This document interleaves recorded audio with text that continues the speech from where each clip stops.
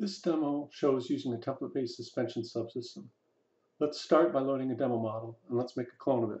Clone's a local copy in memory of the model that can be used for modifications and studies and can be saved if you want to keep it. Let's add a template-based front and rear suspension. There are a number of templates to choose from. Let's use a MacPherson strut for the front and a multi-link suspension for the rear. Hit apply and the model is ready to be used. Switching to the front suspension subsystem, you can see there is a new suspension viewer similar to Suspension Gen. It's dockable and it shows the geometry layout of the suspension. It's also dynamically coupled to the suspension geometry so that when you select a hard point, it is highlighted in the viewer on which point is selected. Updated coordinates are immediately reflected in the suspension viewer. In addition, the orientation of hard points that can have bushings are also shown and can be updated, at least when not in kinematic only mode. Switching to the bushings tab, you have the ability to adjust scaling or preload for the bushings in 6 degrees of freedom. And you can also access the property file, which can be set to either linear or spline based for nonlinear rates. This is also a new feature compared to Suspension Gen. And finally, the Suspension Analysis tab which is also a new feature, allows for setting the range of jounce and forces, as well as the discretization steps needed to map the geometry in traditional kinematic and compliance curves. Now, with these changes, the rest of the suspension is adjusted. Compliance and kinematics tabs are removed as the curves will be automatically computed.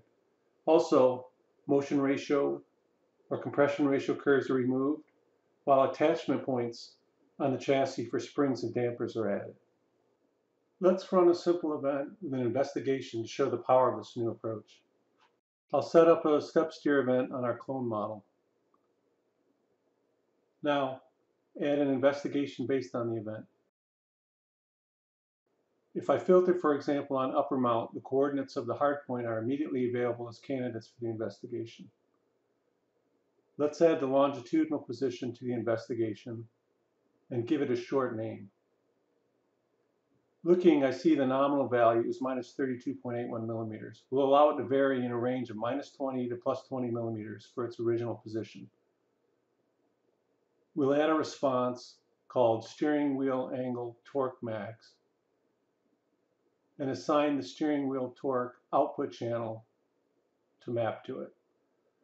Let's run a full factorial study and look at that response across the range with 11 different levels.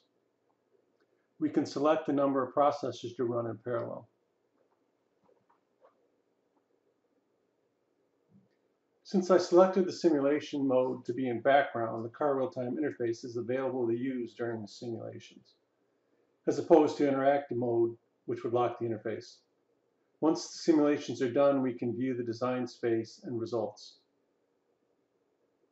Now we can see that changes in the longitudinal position of the hardpoint obviously have an effect on the maximum steer torque for this simple step steer event. This demo highlights the major advantages of using template-based suspensions to allow studies of the suspension geometry and compliance.